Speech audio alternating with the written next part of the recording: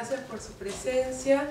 Eh, como ustedes saben, esta es, una tarde para nosotros muy, especial porque hoy recibimos a la primera residente del programa de residencia de escritores de Malva.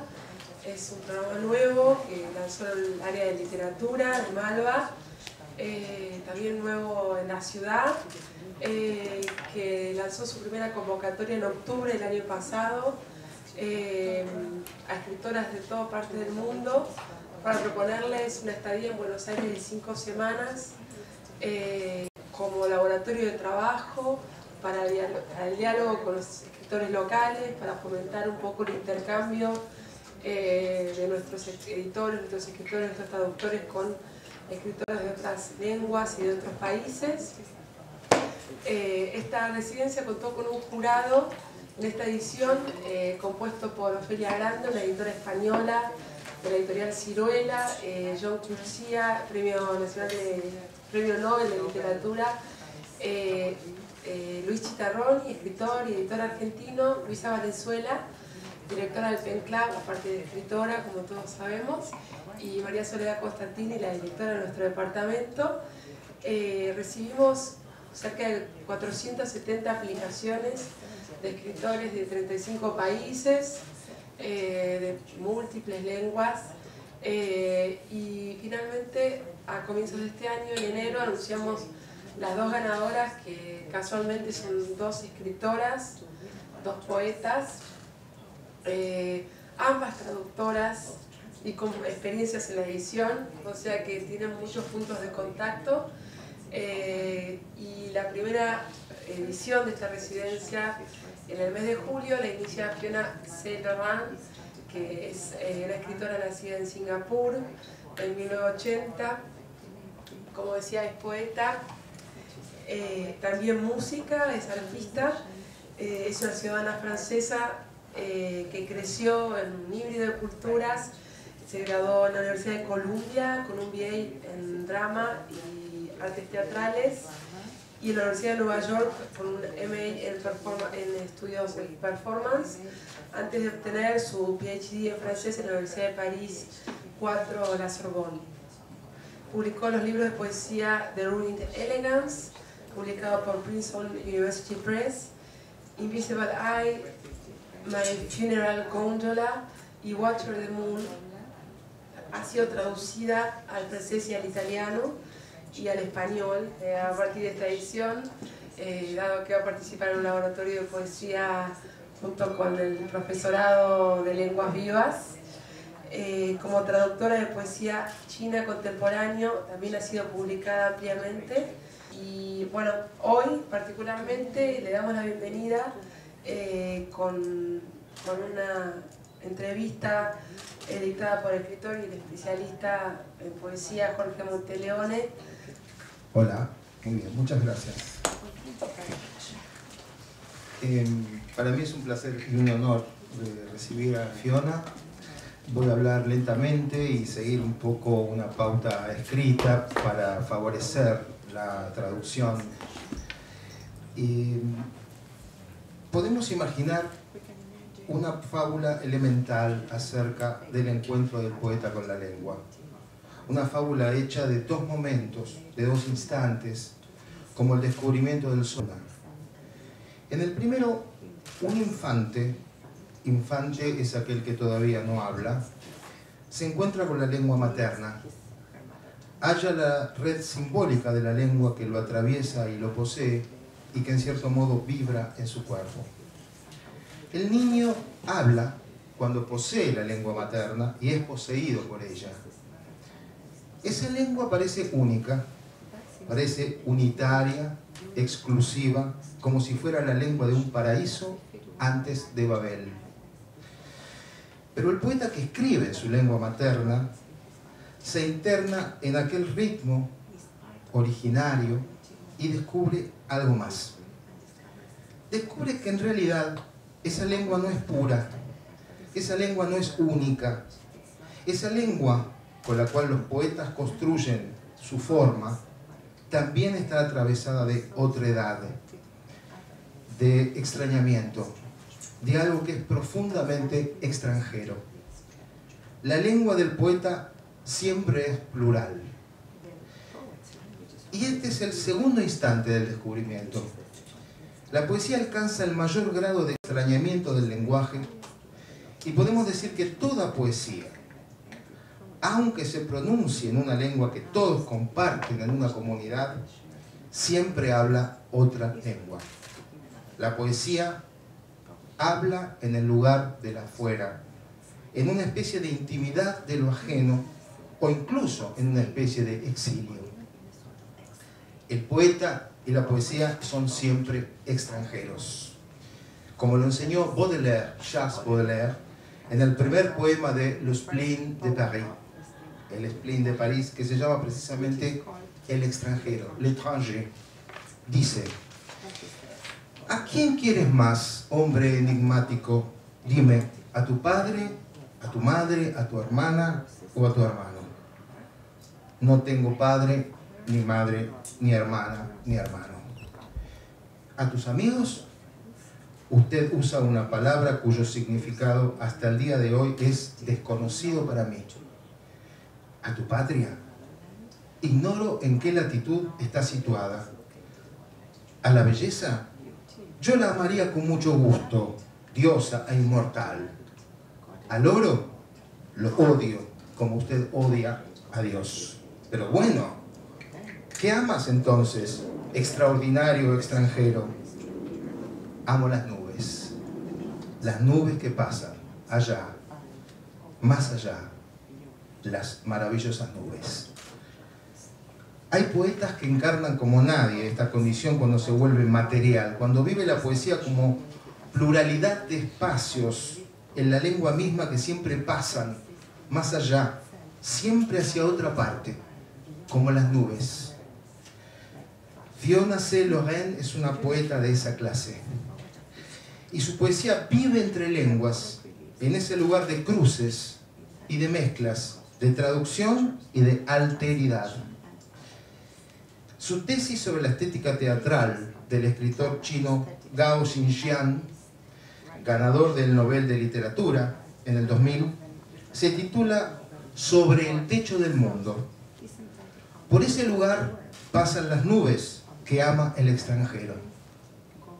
Y Fiona afirma que para Gao Xinxian el exilio no es solo una concreta circunstancia histórica referida a la huida de un régimen, sino también un deseo y una interioridad. Él habita su exilio, dice Fiona, y no es difícil percibir la adhesión a esa idea de un artista contemporáneo. Mientras que las fronteras entre las culturas resultan cada vez más transparentes en nuestro mundo contemporáneo global, opta por un camino literario que sobrepasa un territorio exclusivamente lingüístico, construyéndolo en torno de una poética de la diferencia, lo que lo sitúa paradójicamente como un autor intercultural.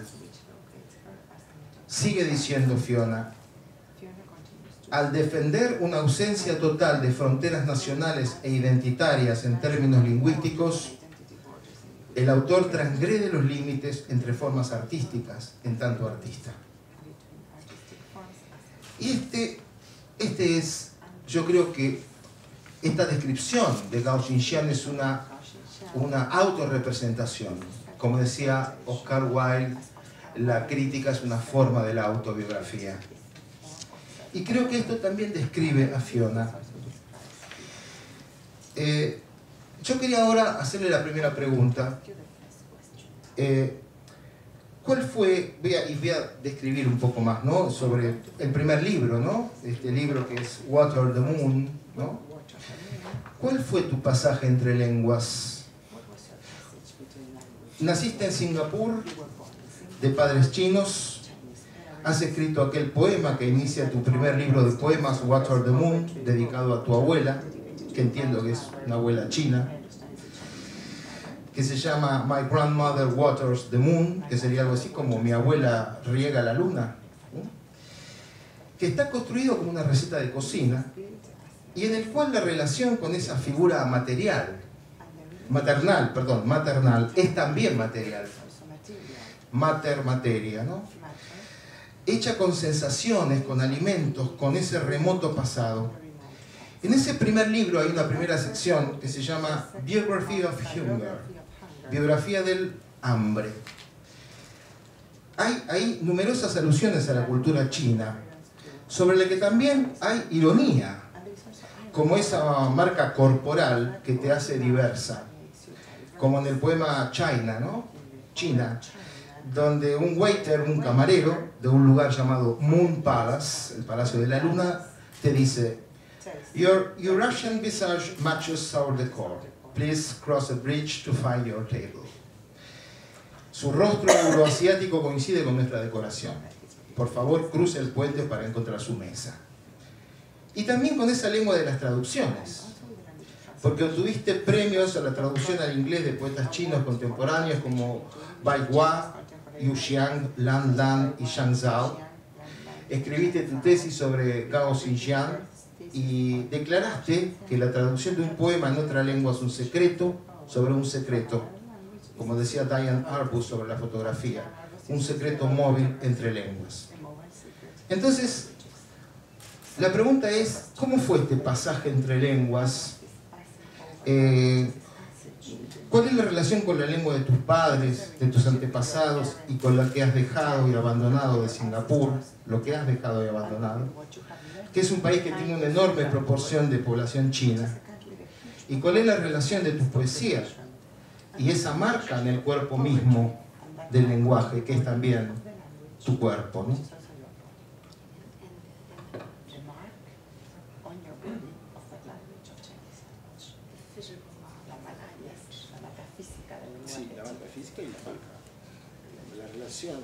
Corporal con la lengua.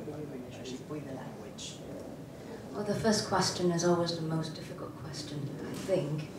Um, because it's always hard to talk about the origin.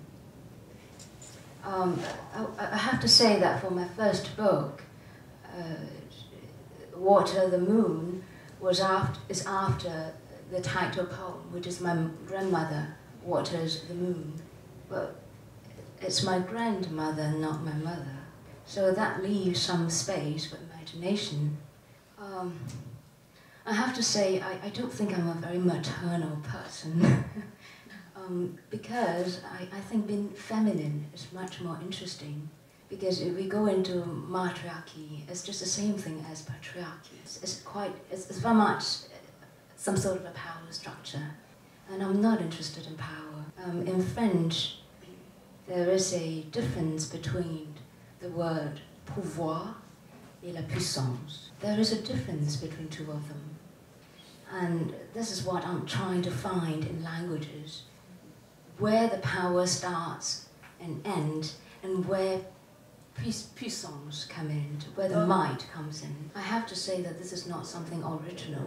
Um, it was a politician friend of mine, well, I, I know it's to find myself as not a friend, as a politician that I met when I was a kid, who says, who said that the one who seeks for power will always be behind uh, ceux qui cherchent du pouvoir ne trouvent jamais la puissance.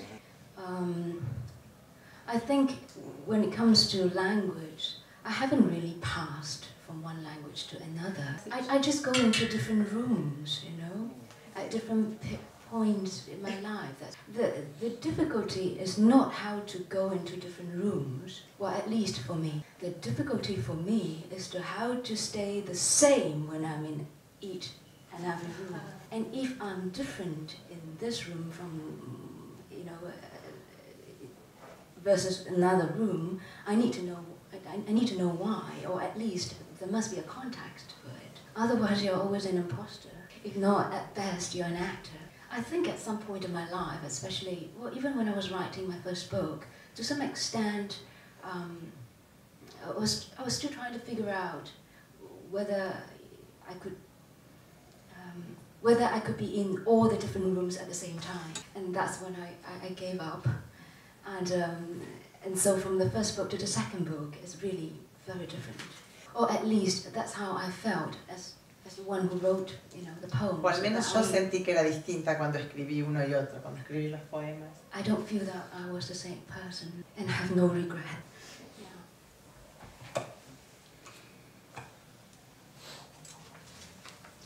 Yeah. Em,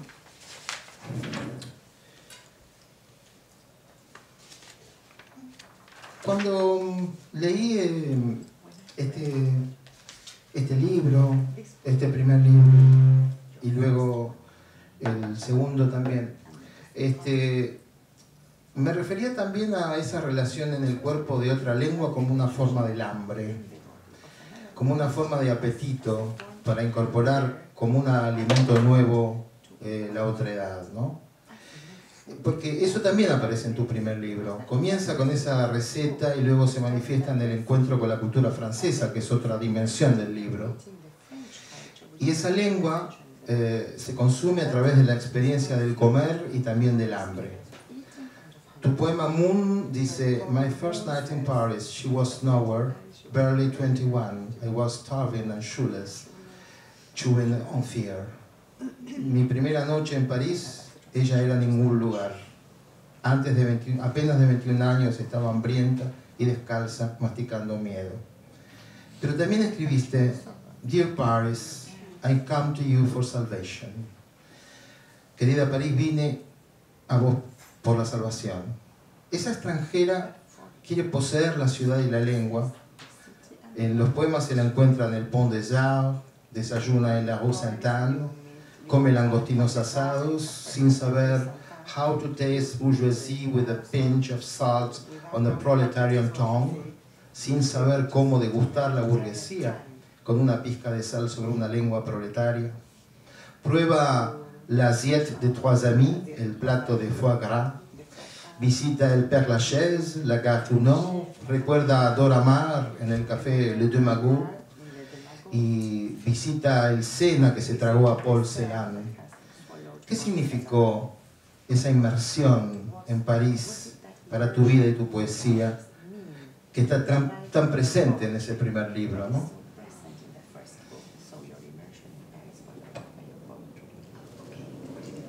Um, it's rather interesting uh, because I still think about this question from time to time. Paris. Um, I, I think I would die in Paris. Um, and I, I do think it is only really in Paris that I found um, I found the space to write poetry. Um, I believe that in Paris you can still be free. It's getting harder now. I, I, I don't know how the younger generation is going to handle that because of this globalization and money and, and but in Paris I, I think that there's some sort of the rhythm of life is more humane as compared to other cities where I've lived. Singapore is definitely impossible. Um, I can't even think critically there. Um, well, this is not a comment on the country, but uh, rather on me, although it could be interpreted as a comment. In New York, I, I am able to think critically, but I found myself um, it's not easily distracted, but um, but um, I couldn't live poetry. I write poetry. I have to publish it. And, you know, it's, it's, like a little industry. Um, it, I, I suppose you know there's a lot of pressure in existing. Um, and I don't think New York needs me. I don't think New York needs anyone. Um, in Paris, I, I French is my daily language. I'm married to a man who doesn't even, well, now he speaks and read English. But he did not speak English before we married. So he's, you know, he's a typically, he's, he's a typically French man. So, so in Paris, I always have to deal with the distance, you know, French and, and English. And it's very erotic.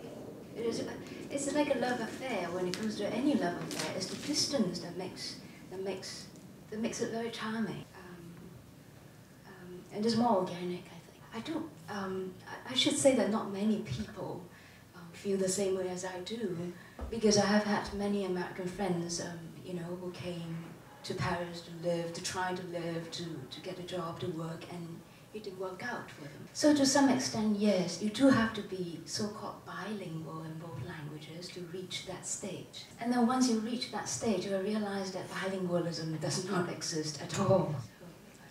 Y como nota al pie de esta respuesta, Em, ¿No has escrito poesía en francés? Have you not written poetry in French? No, no. Um, I, I write non-fiction essays in French, and now I sort of even um, uh, I sort of stop it a little bit to concentrate on poetry in English. But I translate from French into English, and um, and to tell to tell you the, the truth, um, French is French is like to me it's like making love with my husband, just intimate. It's the bit of me that I have to keep intact in order to give something out in, in English. So, um, and also French is a difficult language for me, um, or perhaps for anyone. I, I don't know. It's, it's, Para mí es difícil, tal vez para todos es difícil. it's difficult because it possess it possesses you.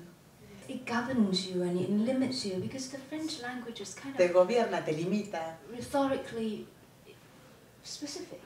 Uh, for, for instance, ce que je ne sais pas. In, in, in, in, in English, Por ejemplo, yo ne sais pas, no sé, en inglés. it's, it's, it's difficult to say something that's so sophisticated, you know, you know what I don't say. I mean, it's so que je ne sais pas. It's, Yes, musically and, and grammatically, it's, it's somehow more Latinated. So um, it's hard to, to embody that. Um, yeah. Muy bien. Eh, pero, ¿tradujiste Mark Strand al francés? Yes. Ah. French. Into French. Ujú. Yeah, and, and yes, sorry, from, from English into French. Mm. I, I, Sí, del inglés al francés. Um, I have to say that I, I could do that. Partly also because I, I, I knew Mark Strand rather well. And um, when you translate a, you know, a close friend, it's really very different from you, you know, versus translating a text. I was absolutely possessed, obsessed with the idea of really making Mark, uh, Mark Strand, the French Mark Strand. Um, in part also because by, by the time um, I got down to doing this, I start I started with his last book, and um, and he died in 2014. And when, when we were working on that, I knew we, we both knew that you know time was pressing. So if I don't if I don't do it, who else would do it? So, so you know there were a lot of different factors, and, and that was one reason why perhaps that when I did that um, French translation, it didn't felt like a translation to me. It, it was just like remapping. El segundo libro, eh, que es este, My Funeral Gondola, me gusta mucho ese título, eh, tiene un fuerte sentido en la cultura occidental, ¿no? Porque, bueno, en principio alude a una composición para piano de Franz Liszt, La lúgubre góndola, que escribió pocos meses antes del fallecimiento de Wagner. Ambos músicos estaban en Venecia eh, y fue tomada como un presentimiento de la muerte. La góndola aparece como un espacio fúnebre, pero también como un espacio para el amor clandestino, usado por los amantes, usado por Byron para dormir después de sus lances de amor, por Giacomo Casanova para trasladarse después del amor. Amor y muerte se inscriben en ese símbolo veneciano. Y hay un poema de Thomas Tranströmer dedicado al mismo motivo. A los, a los tres aludís en el poema My Funeral Gondola. Has nothing to do with Liszt, with Wagner, with Tranströmer. Eh, nada que hacer con Liszt, con Wagner y Tranströmer. Y transformás esa música en un objeto de meditación. Y esa meditación creo que es un memento mori, un recuerdo de la muerte. Pero cuando hay un memento mori, hay también una condición paralela, una celebración de la vida. En ese libro hay poemas llamados Mi muerte, Notas sobre mi funeral, Mi melancolía, Mi desnudez, Karma. Pero al leerlos, siento que no prevalece la elegía, sino la sensorialidad, como si apareciera una ambivalencia en ellos. Como si muriera eh, un yo antiguo en cada experiencia nueva, entre la pérdida y la resurrección y el renacimiento. Como si el poema sobre la góndola lúgubre fuera un conjuro contra los starving ghosts, los, los fantasmas hambrientos y el pasado. No more ghosts, escribiste, ¿no? No más fantasmas. The sadness in me isn't mine, escribiste. Esta tristeza en mí no es mía. Como si hubieras transformado la nostalgia que vive en el pasado por la espera que vive en el futuro. Y escribiste esta frase, not thinking about past. Y esta otra, I vote for a faith. ¿Cuál fue la experiencia de escritura de My Funeral Gondola? ¿Cómo, eh, ¿Cómo pasó a ser un libro tan distinto del otro? ¿Por qué sentís esa diferencia? ¿no? Veo que hay también una relación entre el, eh, eh, el agua, ¿no? el water, the moon y el agua de Venecia, ¿no? que es una ciudad soñada, creo que no estuviste en Venecia. Bueno, que nos cuentes un poco la experiencia de escritura de My Funeral Gondola. I, I like your analysis. Me encanta tu análisis. But it was really good because in the first book is food, sensory experience, and Es the. Oriental, and uh, you know whatever that's um, that's ox- um, Occident, what- whatever that's Western, is somehow in conflict with the East. Y todo lo first book. de alguna manera está como en conflicto con el este, And then in the con second book, you, you you saw music and the Western world, you know, taking the center stage. I, I never thought of that. No lo había pensado. Um, but my experience in writing my my funeral gondola is completely was completely different from Water Water the Moon. I think Water the Moon I was um, I was very happy. I, I wrote for happiness, the way that I married for happiness. So it was like um, it's like the first stage of, ha- of marriage, I suppose. You know, ev- ev- everything is new and, and fresh. and- Todo es nuevo. and uh, well, perhaps this metaphor doesn't work because obviously I wanted to say that for my funeral gondola, the happiness is, is, is someone is somewhat transforming. This is not to say that my marriage is the same thing. Um, but in writing my funeral gondola, I was doing the anti, I was, I was doing the anti journey of, of Al the Moon. escribir mi My Funeral Gondola estaba haciendo el antiviaje, el viaje contrario a Water the Moon. I was looking for silence all the time. And I realized that when I was writing, writing that book that I had, I had a lot of grief in me. I wasn't sad, but I had grief. Pero tenía esta tristeza, este dolor. I didn't know what to do. Y no sabía qué hacer con eso. So that was how, that was how the book um, began. And it was, it was a little bit terrifying because um, writing the poems is one thing, but putting them together and seeing them belonging to one, you know, one world is another thing. Es algo completamente distinto. And when I get cosa. and when I would get to the stage of really seeing the world appear, you know, all the poems one after another that speaks, that, that sort of speak to one another, there was a hole in my heart, and it kept getting bigger and bigger. And um, um, I, I don't think I stopped it. I, I stopped a hole. I, I really let it hollow out. Um, and I think that's what it means, perhaps, by emptiness. Um, so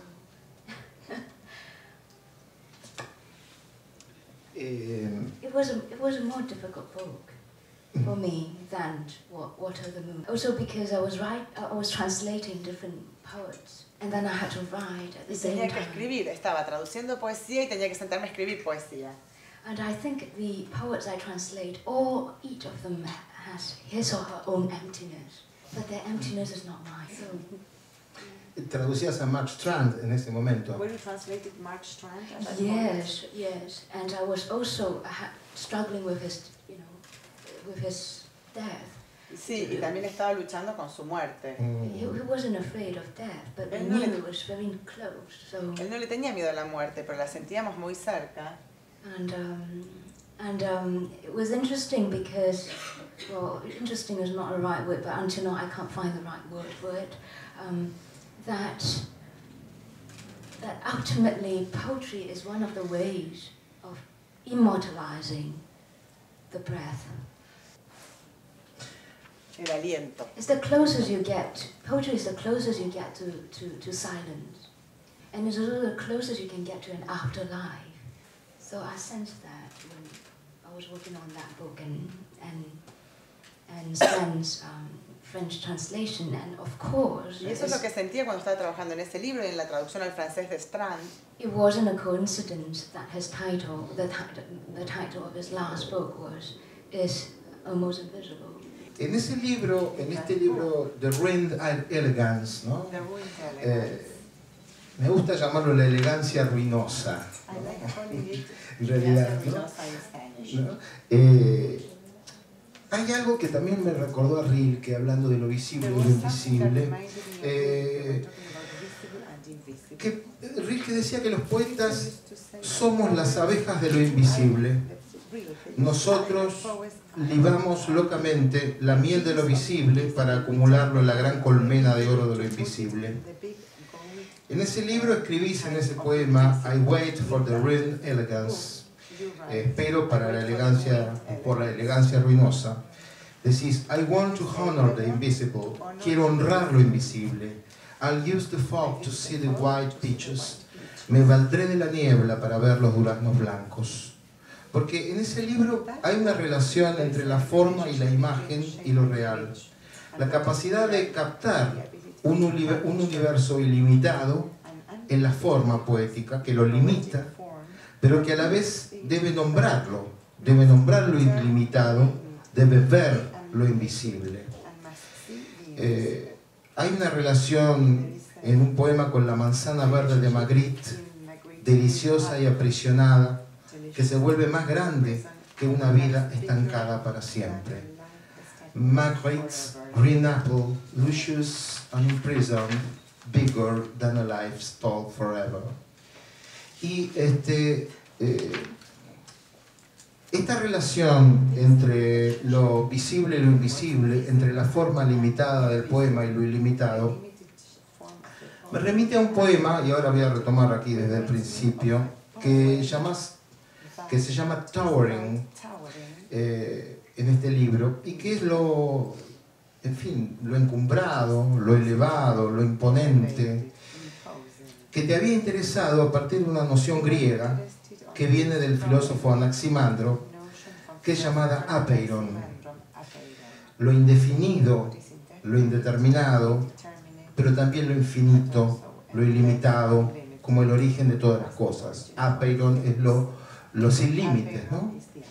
Y eso refleja el movimiento de creación y destrucción, ese juego entre lo ilimitado y lo, limitado que define al poema y también define la humanidad, esa aspiración a lo infinito desde el límite, algo de lo cual también hablaba el poeta italiano Leopardi, ¿no? que imaginaba el infinito a partir de la finitud. Y en ese poema hablas de la un- unfathomable life, de la vida inconmensurable, de una vida sin límites y de la relación del poeta con esa vida sin límites, con esa idea del apeiron. Y que el poeta solo puede aludir al universo de un modo parcial, limitado, y solo con lo limitado puede referirse a la vida ilimitada.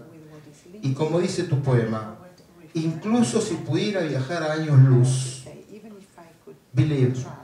answers are small. Las respuestas son pequeñas, incluso ante la visión de las estrellas que nacen y mueren ilimitadamente. ¿Cómo es esa relación en Ring Elegance? eh, esa relación entre lo, lo limitado y lo ilimitado, el apeiron, la relación con la forma poética, todo eso que, que creo que está presente en tu libro. Well, ta- um, I think the painting I chose for the book cover says something about the title and, and the collection. Creo que la pintura que elegí para la tapa del libro dice algo del título y de la colección. It's a vision of what I have in my, in my mind. in Esto es una visión de lo que yo tengo en la cabeza, en la mente. And, um, and of course, the, the title of the book is The Ruined Elegant. That, that says something too. Um, I, I'm a pessimist. Um, it doesn't mean that I'm not positive. I just don't celebrate, you know, positive stuff the, the way American um, advertising world does. You know, smile and. Um, it, in, in, in the ruined elegance, I was interested in the idea of ruins and another way of looking at beauty. Um, I think I just mentioned earlier, I'm- I'm basically a Keynesian, but I'm a pessimist, so there's some sort of a conflict. So poetry, poetry is sort of a way for me to reconcile the two of them, because you do need to have hope. Um, but how, that's the thing. It- it- it- French is a more subtle language when it comes to this idea of hope, because l'espoir L'espoir. Ujú, después. and l'espérance Ujú. is not the same thing. De nuevo, l'espoir y l'espérance no son lo mismo. Euh, je crois que. I think I believe more. Je crois plus en espérance à l'espoir. que l'espoir. Um, it's hard to. I, I don't think in English. There's No, some sort of, it's, no it's sé too si hay una diferencia en el inglés o en el castellano. Pero en, en el español tenemos en la palabra esperanza, Sí. la espera. Sí. Ah, in esperanza in Spanish and in espoir we have espera, waiting. Oh. Oh, that's, you know, you have time. you can buy time. O sea que se puede comprar tiempo. Tiene tiempo. Uh, um, I think the ruined elegance has a rather intellectual enterprise. Uh, uh, inter, well, not enterprise, but a rather intellectual project behind it. Um, I, I tried to address the idea of ruins from historical, from aesthetic, from the social, and also from the personal. Um, you mentioned about towering. Um, that poem is actually is actually about my. Um, I, I had a dream. I mean, I, I, I didn't want to be. My ambition wasn't to be a poet when I was young. no, no, yo no tenía la ambición de ser poeta cuando era chica, y, pero tuve un sueño I wanted to be an astronaut. So that poem was about this field, um, this, this impossibility. and, um, and obviously, you know, being an astronaut attracted me because I wanted to, I wanted, I wanted to be an outsider, you know, to get into this vacuum, this space, and look back at life, but not in the same time space, but light years ahead, and then to come back and yet in another time space. Um, so as you can see, my, my, my idea of limits and non-limits and no limits and e-limits is rather elastic.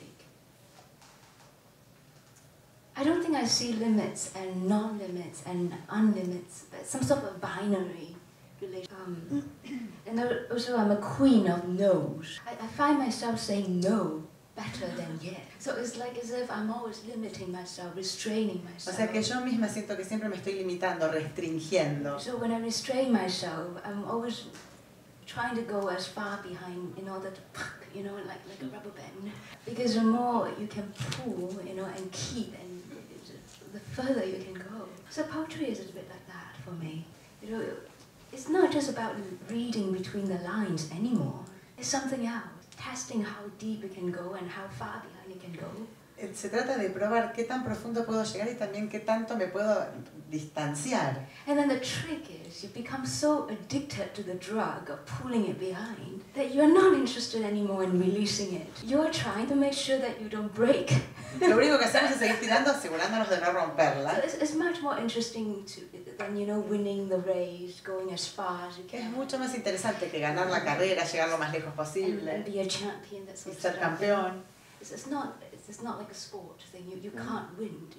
¿Y, y qué honrabas cuando decías I honor the That you were invisible. honoring when you say Huh? honor the invisible. Yeah, um, I think I'm literally meaning that I'm honoring the invisible. Ahí realmente soy muy literal en lo que digo, hon- honro lo invisible. Um, because poetry you can read, um, but the imagination is invisible. Um, each and what each and everyone is thinking or imagining out of the poem that's visible and unknown to es the other. desconocido a los- para los demás. So I, I think that's where the mystery is. It's very sacred, you see. Um, I think we need more sacred spaces, and, and I think we need more mystery in life too. And mystery and secrets are not the same thing. Yeah. Em, nombraste a Mark Strand, eh, te, te sumergiste en la, en la cultura francesa em, y ahora venís al español, venís a vivir al español. Y has leído a Machado, eh, estás interesada en, en Silvino Ocampo, en Alejandra Pizarnik. eh, y los poetas, los poetas elegidos son como nuestra propia autobiografía. Para los lectores eh, son una especie de familia secreta, ¿no? Eh, ¿Cuáles son tus poetas íntimos? Que no necesariamente son los de hoy, sino los poetas íntimos de tu biografía. ¿O cuáles puedes nombrarnos? Which poets could you mention? In Spanish? No, en, en cualquier lengua.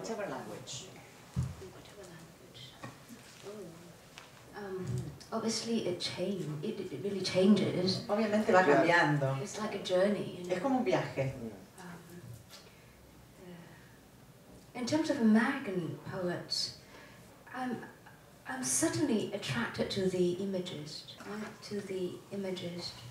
Um,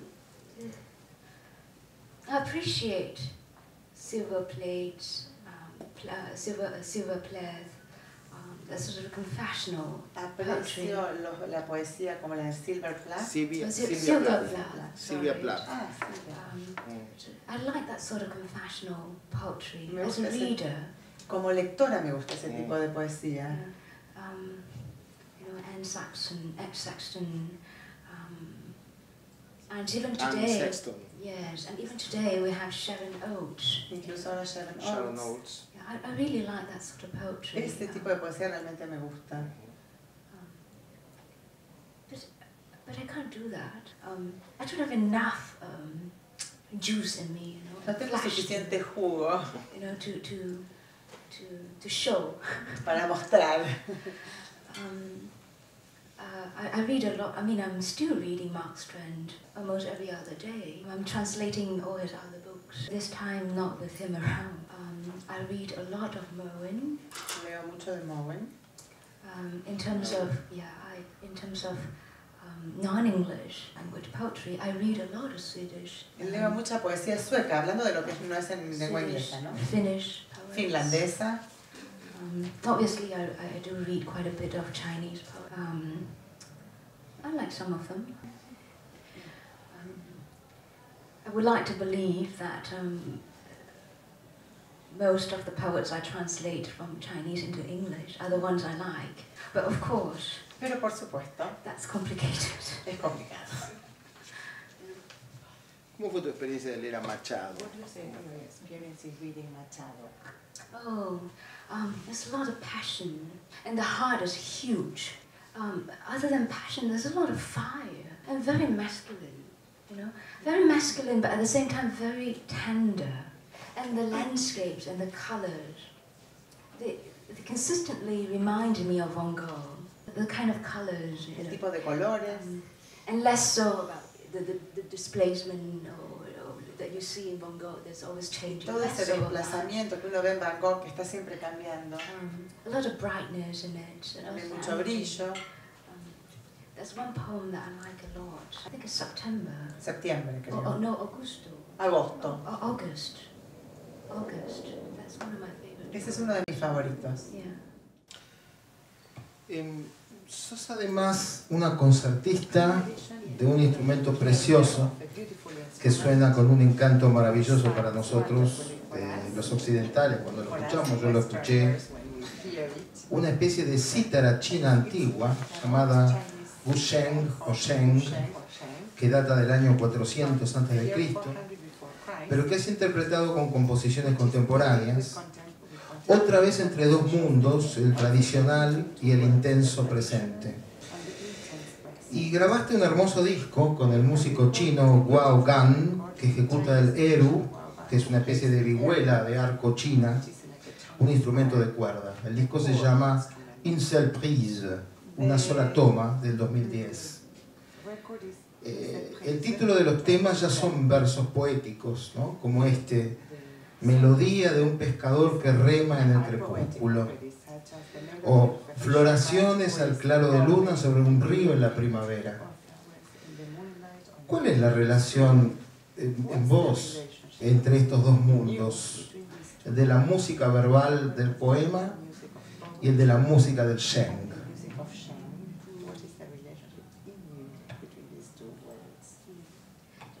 Do realise that the title of our interview today is Living Between Languages. And when I was taking the flight, I was thinking about, you know, living between languages in the air. En el aire.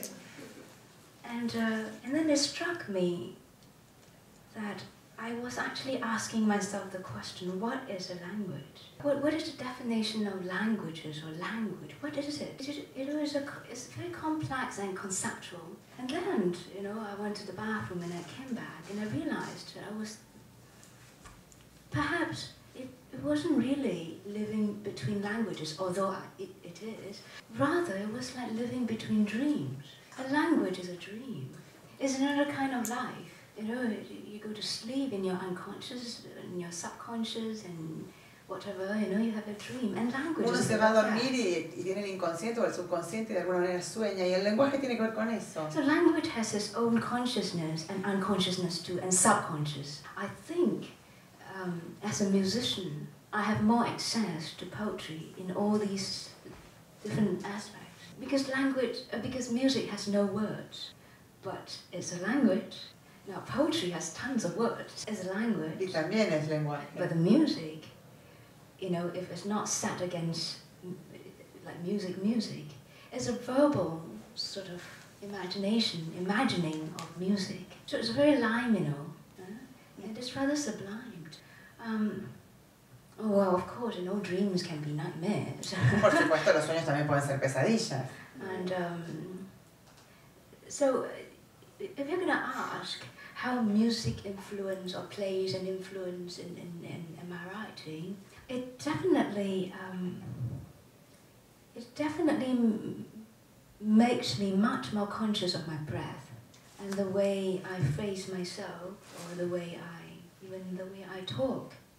Um, I think I do listen more. And um, I think music forces me to listen more. And it's not just it's not just listening to the other, but it's some sort of inner inner listening.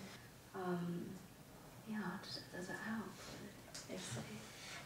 Bueno, em, Querría invitarlos a hacerle una pregunta a Fiona. Eh, ya hemos hablado mucho y me gustaría escuchar alguna pregunta para ella, ¿no? O un comentario. Uh, would you prefer in English or in Spanish?